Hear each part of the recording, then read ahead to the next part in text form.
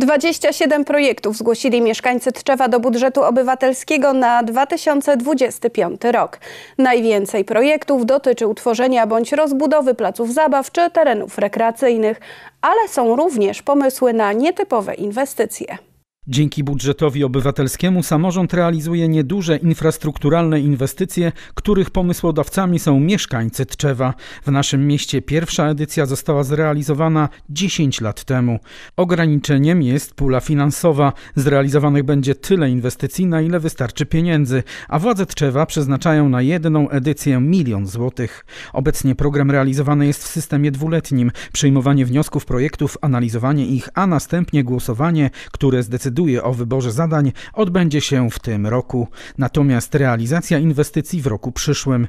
Pierwszy etap to przyjmowanie wniosków. Urząd Miejski niedawno opublikował listę zgłoszonych pomysłów. Zapytaliśmy prezydenta Tczewa, jakiego rodzaju pomysły w tym roku mieli lokalni społecznicy na budżet obywatelski. Rzeczywiście 27 projektów, 14 dużych, czyli do kwoty 250 tysięcy złotych, 13 projektów małych, czyli do kwoty 25 tysięcy złotych.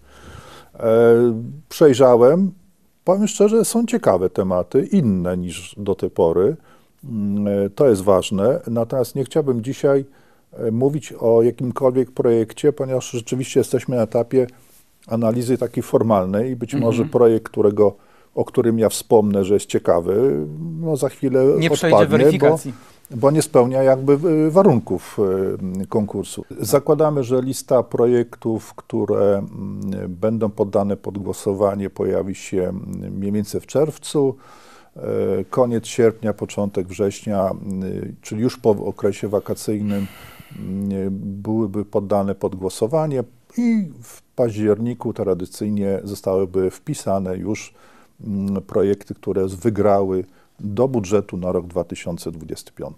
Tradycyjnie najwięcej zgłoszonych projektów dotyczy terenów rekreacyjnych, na przykład rozbudowa bądź rewitalizacja placów zabaw. Jest także pomysł na stworzenie mini parku linowego Małpigaj. Były też wnioski o publiczne urządzenia, toalety, naświetlacze, urzędomat, jak również pomysł na utworzenie platformy w internecie umożliwiającej powszechny dostęp do miejskiego monitoringu.